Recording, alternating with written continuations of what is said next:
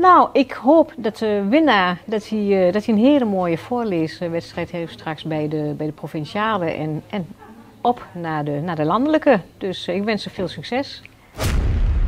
Lois de Wilde van basisschool De Roergangen is de voorleeskampioen van de gemeente Wierden. Zij mag Wierden vertegenwoordigen op 12 maart tijdens de regionale ronde. Negen scholen deden mee aan deze wedstrijd. Anita Knox van Bibliotheek Wierden vertelt hierover. Wie kunnen daar aan meedoen? Nou, eigenlijk kunnen alle scholen in, de bibliotheek, of, uh, in Wierden die kunnen daar aan meedoen. Uh, de scholen die krijgen automatisch, krijgen ze via de Stichting Lezen, krijgen ze bericht dat de voorleeswedstrijd een bepaalde periode is. Dan krijgen ze deelnameformulieren krijgen ze toegestuurd, alle scholen.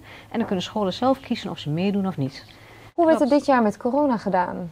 Nou, dat was inderdaad even het nadenken natuurlijk hoe je dat het beste kunt doen. In eerste instantie hadden we bedacht om de kinderen in de bibliotheek te laten komen. We hebben een periode gehad dat hier 30 mensen zouden kunnen komen. Nou, jammer genoeg kon dat ook niet, want nou goed, dat ging inderdaad helemaal uh, dicht. Dus toen hadden we bedacht van, nou weet je wat we gaan doen?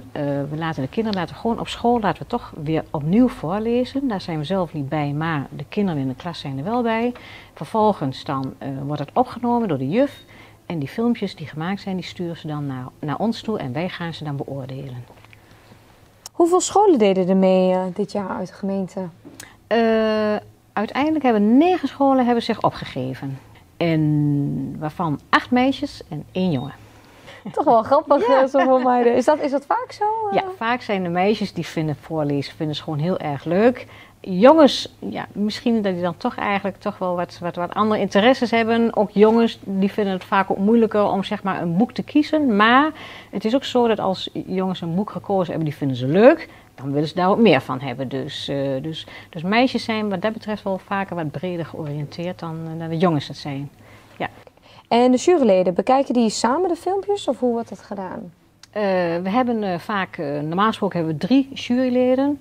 Um, en die kijken dan inderdaad van, nou goed, hoe wordt er voorgelezen? Is er veel expressie? Wordt het niet te veel met stemmetjes gedaan? Is het een mooi stuk wat ze gekozen hebben? Is de boodschap duidelijk voor, voor, de, voor de andere kinderen? Is het, is het nou, triggert het een beetje hè, voor, voor, de kinderen? Dus, dus eigenlijk wordt er op verschillende manieren wordt er gekeken naar, naar, naar het voorlezen. En daar wordt dan zeg maar iemand uit gekozen die dat het beste doet. Ik ga vandaag een stukje voorlezen uit het boek Schelplaats van Marieke Goslinga. En de voorleeskampioen werd dus Lois de Wilde uit Enter. Alle deelnemers lazen mooi voor, maar de jury vond haar toch het beste.